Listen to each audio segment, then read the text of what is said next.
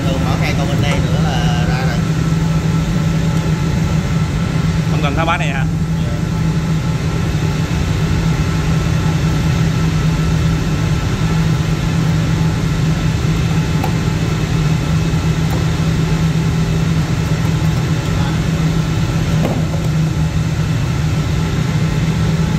nhiều vậy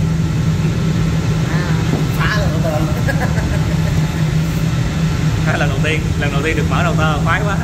Ok đây là còn bảo hành ta. Lắp lúc nào anh? Con này lắp lúc nào? Con này lắp lúc nào? Bảo hành đến lúc nào hả? Ở đây.